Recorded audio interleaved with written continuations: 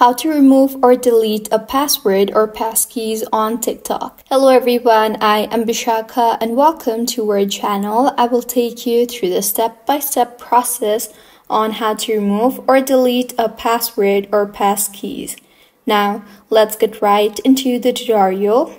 Firstly, go ahead and open the TikTok application on your device.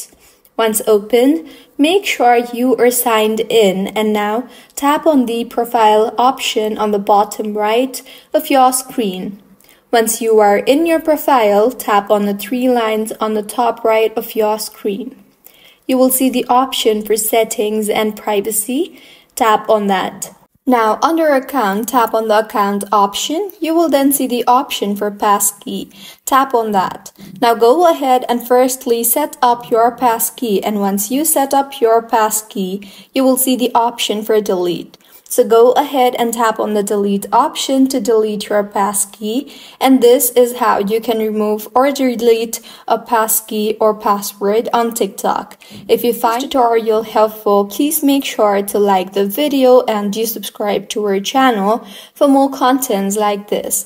Thank you for staying with us until the end.